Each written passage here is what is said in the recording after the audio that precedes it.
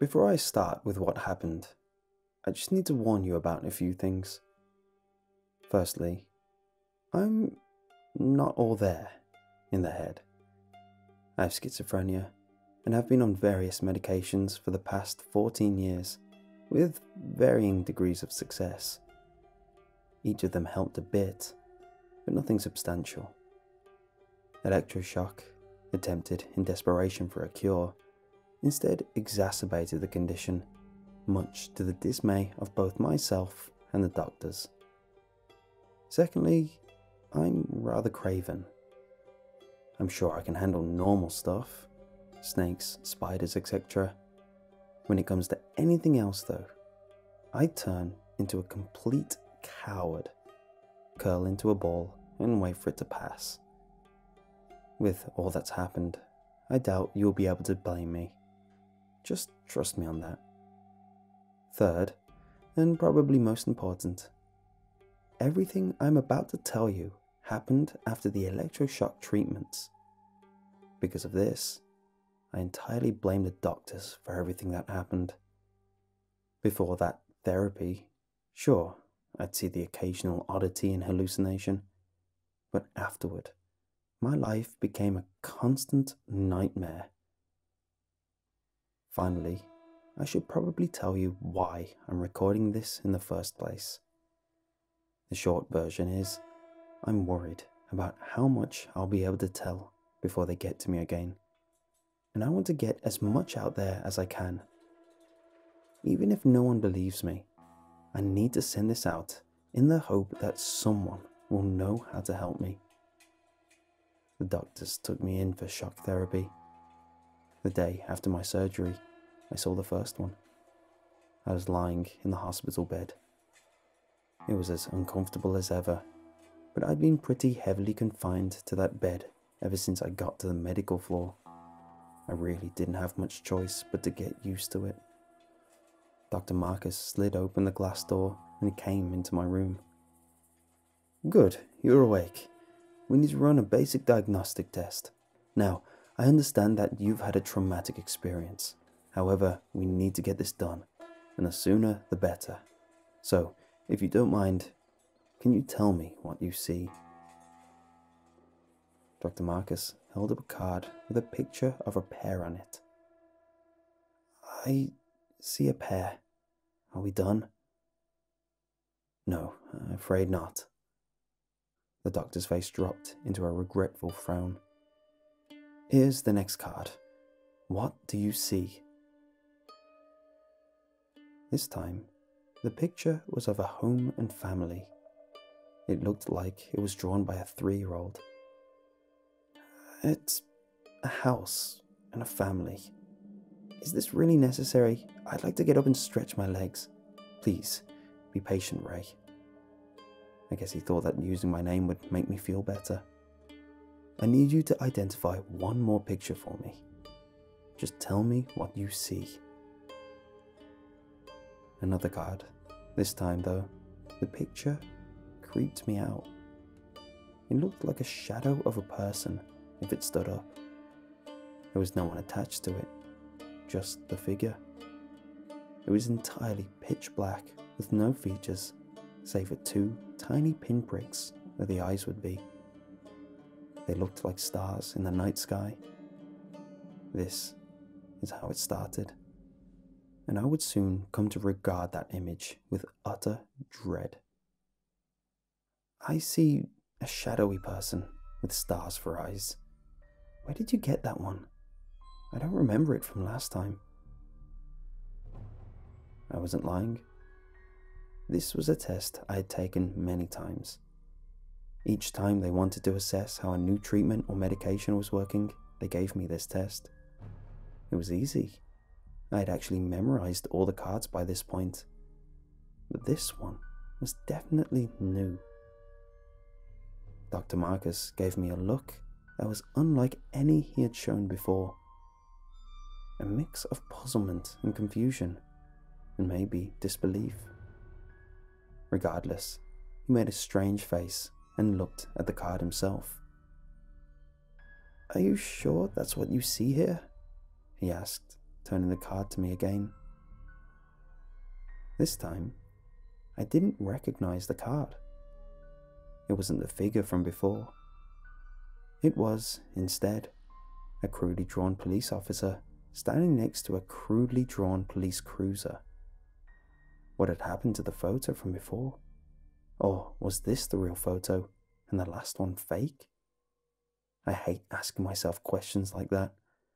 I learned long ago that when you live the way I live, inquiries about what's real and what's not real tend to go unanswered and end up running you in circles until you're too exhausted to think. I dropped the thought from my mind to avoid the hassle. Dr. Marcus, however, was still waiting for an answer. I told him something I thought he would accept as a viable response. The shadow was the officer next to the police car. He saw right through my ploy. It seems to be you may be experiencing some unforeseen side effects. That's why we do this test, you know, to ascertain whether the treatment is improvement or detriment. I had already heard the speech and didn't care to listen to him beat a dead horse. In retrospect, I should have been more fair to him. He really was trying to help. I see that now. I was tired though, and wanted to go back to my room instead of spending another minute in that uncomfortable bed. Eventually, he finished his speech, wrote another prescription, and let me get up. I was happy to be walking out of there. My left leg had fallen asleep, but that was still less irritating than the speech I was given. Dr. Marcus opened my door and shuffled me inside, locking the door as he shut it behind me. I didn't mind. I actually liked my room, save for the monotone colour scheme. Whitewashed walls, occasionally interrupted by a smudge of crayon from some loony. Boring. The rest of the room was more to my liking.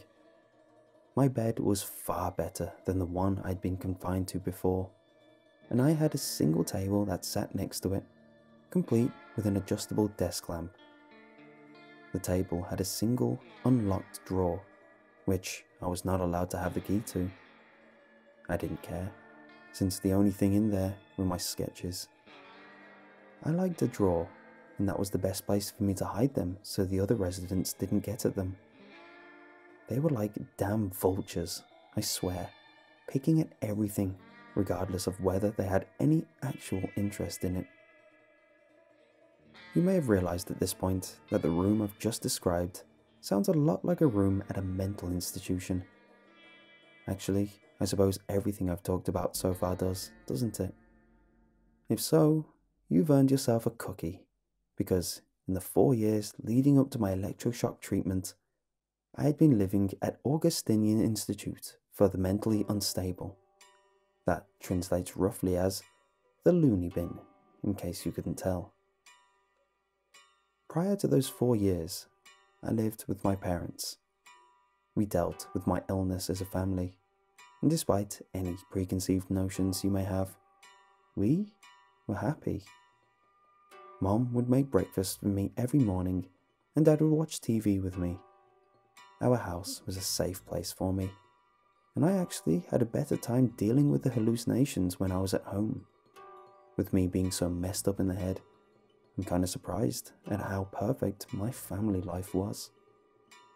Then, quick as a wink, that life ended. My parents went out for a night on the town Heavy rain was pouring down that night. I remember it keeping me awake. Apparently, the soaked, cobbled road was a bad match for the tyres of my parents' car, and they skidded off into a ditch. Neither one made it out, and that's all I'm going to say about it. It's a touchy subject for me, as you can imagine. With no relatives left, I was placed in the care of my physician the aforementioned Dr. Marcus. He and the other doctors had only one goal in mind for me get me healthy enough to boot out the front door so they could bring in another guinea pig. Bad news for them. none of their drugs worked. I was carefully monitored for the next four years, bringing us back to the electroshock and the events that took place afterward. I sat down on my bed and retrieved my sketching supplies from the drawer. When I would get really bored, it would help to draw something interesting that happened from the day. Well, I had been resting for most of the day, which really only left one strange flashcard to consider. I drew my rendition of Dr. Marcus, holding up the card. When I tried to draw what was on the card, though, I couldn't. I didn't remember what it was. I do now, obviously, but for whatever reason, at that moment, it was as though the card was blank, both on paper and in reality. I laid back in my bed, getting a headache. I wanted the day to end. And so, despite having rested for 15 hours post op, I fell asleep. I woke up very early the next morning. I didn't have access to a clock or watch, but there was no light streaming in through the barred window above my bed. It must have been before dawn. Doctors didn't open the doors until 8 each morning, so I was stuck in there in my boredom, waiting. I didn't want to wake the person in the room across the hall from me, so I left my lamp off.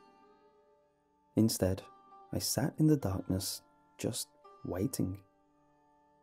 Out of the corner of my eye, I thought I saw something move in my room. I turned to look, but found nothing. As I rode back to face the door, however, I came face to face with a horrific sight.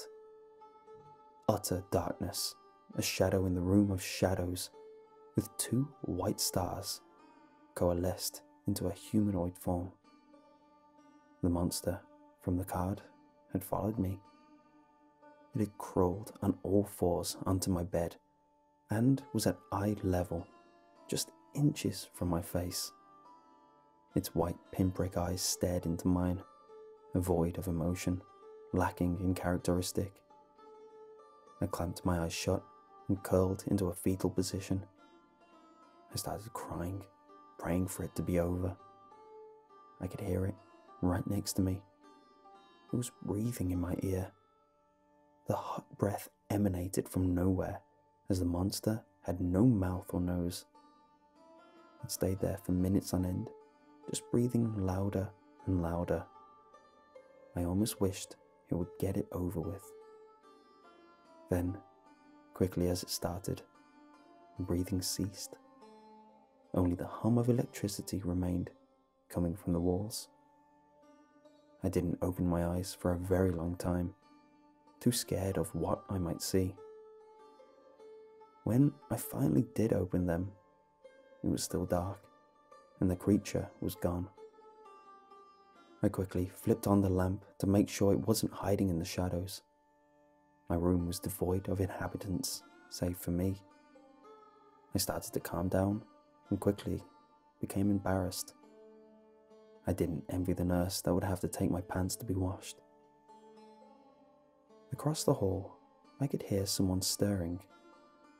I figured it was a patient, but I didn't want to be left in the dark again. I angled the light away from the door as best I could and tried to get back to sleep to no avail. Eventually, the sun rose and the doors were unlocked. The nurse gave me a change of clothes, clearly annoyed and a little disgusted. I told Dr. Marcus about what happened to me, for no other reason than to let him document it. He was obviously concerned for me and decided to give me some meds to help with the hallucinations. I took them gladly. No way did I want to see that again. The drugs had side effects, but they sure as hell worked. I didn't see anything out of the ordinary for months. I was so relieved after the first week that I actually thanked Dr. Marcus for all he had done for me. The look on his face was priceless, but I really meant it, and he could tell. I think he lightened up on me after that. He actually started taking an interest in my issues and in helping deal with the side effects of my meds. For three months, my life at the Institute was the best it had ever been. Then, in a moment of stupidity, I slipped up. One of the nurses forgot to prepare my psych meds, and I forgot to remind them. I didn't even realize that the mistake had occurred, because even off the pills, everything was fine. I still slept soundly that night and the night after, and saw nothing strange either day. The third day off my meds, however, would prove to be a moment of clarity for me.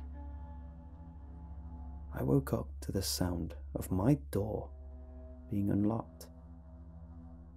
I flipped on the lamp sleepily before opening my eyes.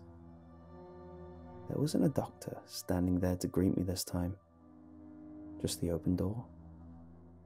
I got out of bed and stepped out into the hall. I turned and closed the door behind me, locking it back up. I looked down the hallway and froze at what I saw. I wasn't in the asylum anymore. I was in. I don't know. I can't adequately name the horror that now faced me. I always pictured hell as being fiery and smelling of brimstone. This wasn't hell. This was visceral. The hall had been contorted into a fleshy mess. Horrible smelling fluids leaked from sores in the walls, and blood coated the squishy, vein covered floor. The doors to the other rooms were replaced with sphincters, and down the hall I could see a figure standing with its back to me. I could hear it sobbing. I tried to turn around, but every muscle in my body locked. Something inside me knew that whatever was behind me would be far worse than what was in front of me. I looked back to the door to my room, only to find that it wasn't there. The intestinal tunnel I was in had overtaken the door. I could see the doorknob in the folds of flesh, though. I thought, if I can just get back through the door, it'll be alright. I don't know why. Out of pure horror, I concocted the notion that my room was a safety net. It was a stupid idea, but I tried it anyway. Nowhere else to go, regardless, except toward the figure. That was the last thing I wanted to do. I tried to reach for the knob, and the flesh closed around it.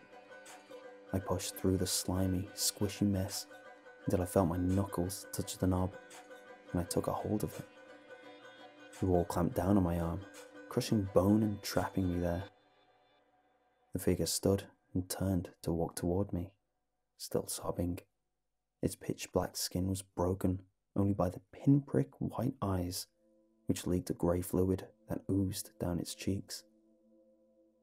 The sobbing grew louder and louder, becoming like a banshee's wail, somehow echoing off the twisting walls of flesh.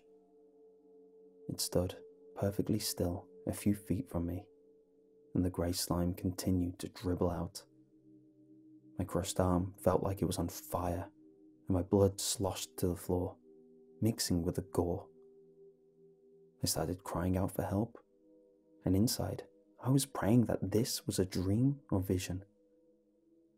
Then, for the first time, the monster spoke.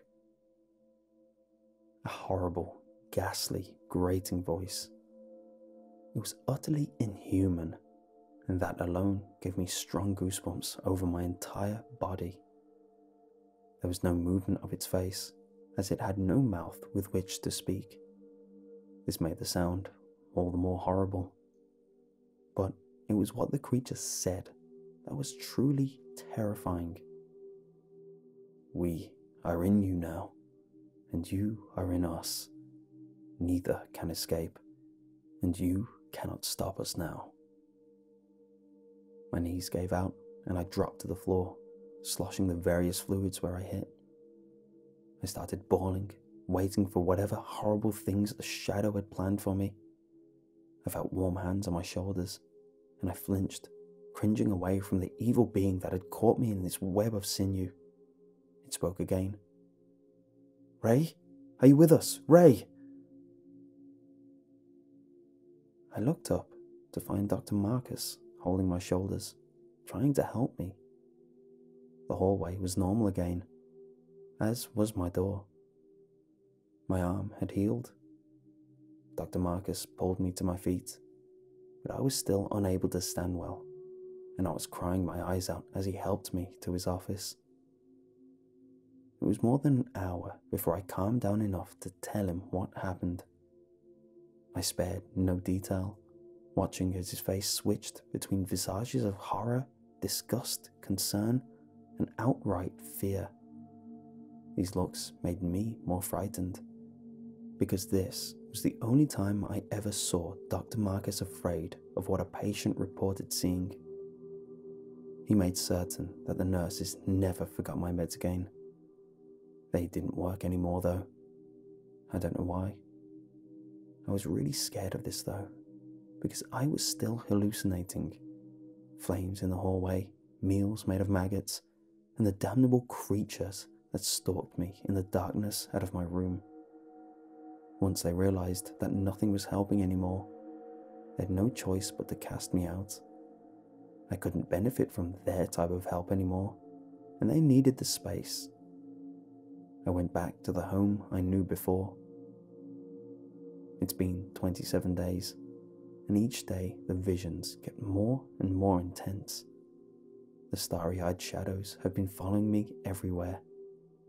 The only place they can't reach me is in my home.